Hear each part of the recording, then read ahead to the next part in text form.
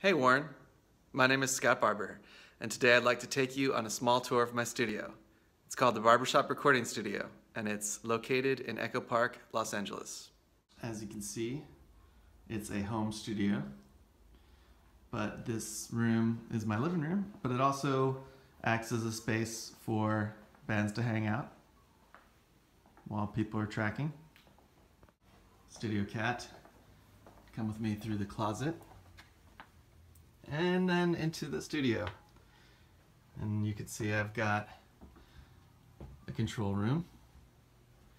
I use Pro Tools and I run through into the Universal Audio Apollo and a Focusrite Octopre. Gives me about 16 channels of inputs. Got some gear here. There's the Universal Audio 610 a lot.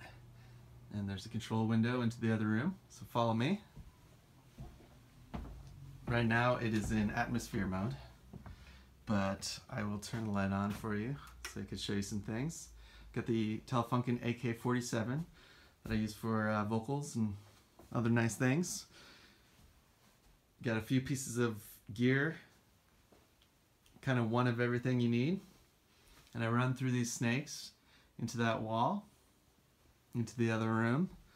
And over here I got a uh, vestibule that I also can use for some more isolation like a little ISO booth and uh, yeah I got some Neumanns and uh, made these sand panels myself. Thanks for watching this. Please let me know if you have any questions. Feel free to share and if you're ever in Echo Park feel free to stop by and say hi. Thanks.